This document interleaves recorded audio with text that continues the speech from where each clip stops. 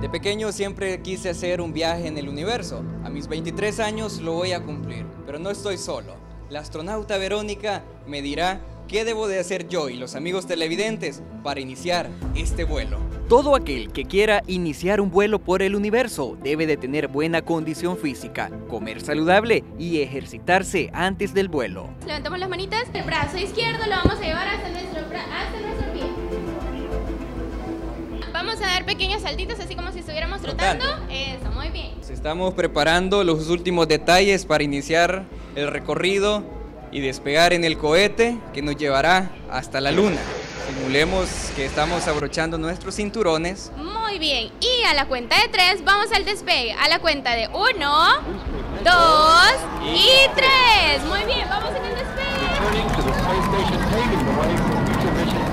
Luego de varias horas de vuelo hemos llegado a nuestro destino. Hemos llegado al túnel Vortex para poder eh, pasar a conocer un poco sobre los planetas. ¿Y por qué me mareo tanto aquí? Porque nosotros estamos haciendo este viaje y esta es parte de la experiencia que ustedes van a vivir acá en nuestra nueva exhibición.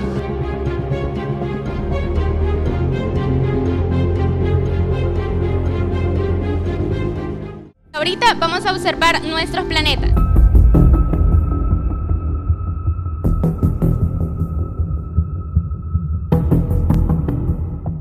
Invitamos a todos los niños que vengan al, Museo de los Niños a este viaje espectacular, a los niños de 0 a 99 años, que vivamos, que tengamos esta experiencia y que podamos disfrutar. Experiencias como estas solamente las podemos vivir acá en el Museo Tinmarín y nuestro horario de atención va a ser de martes a domingo en el horario de 9 a 5 de la tarde. Así que los esperamos en nuestra nueva exhibición de viaje por el universo.